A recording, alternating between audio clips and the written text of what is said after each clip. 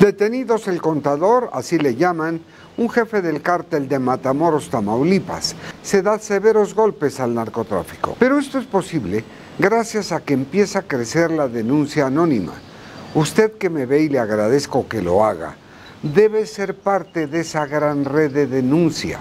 Es anónima, pero sobre todo evitando en la mira principal de no convertirnos en un mercado de narcomenudeo que infecte a nuestra juventud y ponga en riesgo más vidas.